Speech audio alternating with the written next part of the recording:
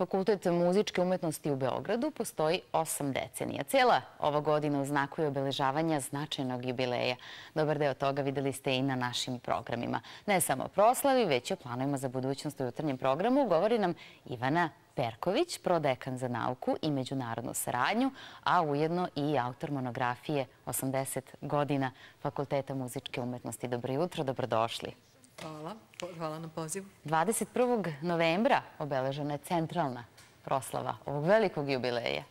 Tako je. Proteklog utorka smo imali jedan slavljenički dan. Prvo u podne smo imali našu tradicionalnu proslavu koju uveličuje gospodin ministar kulture, gospodin Vukosavljević.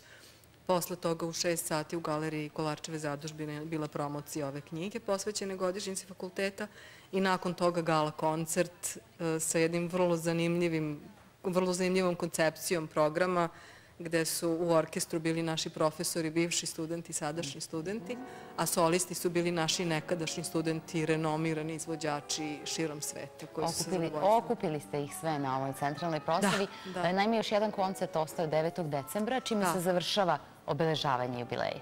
Tako je, tako je. To je zapravo naš tradicionalni koncert koji se uvek održava u zimskom semestru.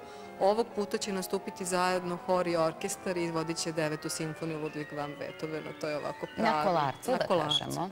E, po pitanju monografije, šta je sve stalo u monografiju? Svih 80 godina. Znate, teško je skupiti 80 godina istorije u, u jednu knjigu. Ovo je vrh ledenog brega. Mhm.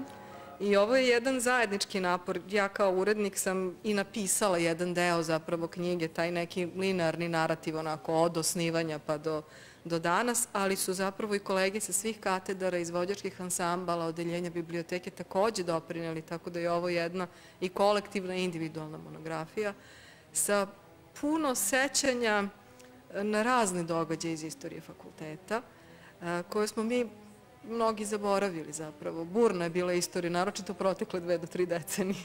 Naročito, da.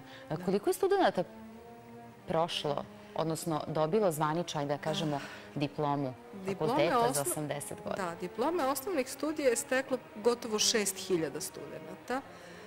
Magistara, dok je još su postojale magistarske mhm. studije, negde oko 700, mastera sad po ovom novom bolonskom sistemu oko 500 i skoro 130 naučnih i umetničkih doktorata. Doktora.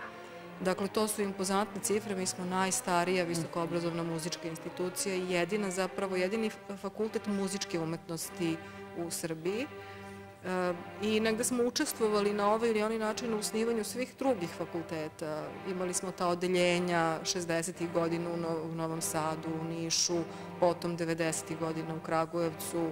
Naši profesori su išli u Prištinu, posle toga Mitrovicu. Dakle, prosto svi fakulteti su negde, alma mater svih fakulteta je naš fakultet. Da, učestvovali jeste u osnivanju mnogih fakulteta, ali i u osnivanju mnogih velikih orkestara, Apsolutno, apsolutno, apsolutno. Veliki ansambli kao što je Kolegijum muzikum su nastali na fakultetu i dalje su rezidencijalni ansambli fakulteta, ali i ansambli koji su se nakon toga samostalili kao što je Gudački orkestar Duša Skovra, Gudači Svetog Đorđa i mnogi drugi zapravo su potekli na našem fakultetu.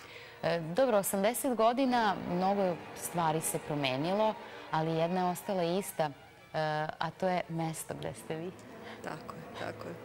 Znate, ista baveći, adresa. Jeste, ista adresa. Baveći se, zapravo adresa se menjala, ali zgrada ostala Zgrada ostala, da. Baveći se istorijom fakulteta, napisala sam jedno poglavlje o tome koja su sve bila potencijalna rešenja našeg, da kažem, stambenog problema. Bilo ih je mnogo kroz istoriju i zanimljivo je proučavati kako je i Kosta Manojlović imao plan jednog umetničkog kvarta tu između Slavije i oficirskog doma i posle toga je bila zgrada Geozavoda u igri i ovaj plac na Novom Beogradu i zgrada u Kneza Miloša i tako dalje. Mi u stvari želimo da skrenemo pažnju na to da se vrhunski kadrovi, zaista svetski vrhunski kadrovi školuju u uslovima koji su apsolutno neprihvatljivi.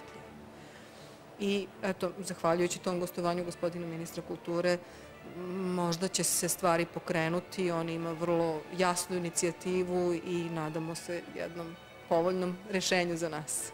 Puno sreće u pronalasku tog rešenja i naravno e, čestitke još jednom na ovom e, jubileju.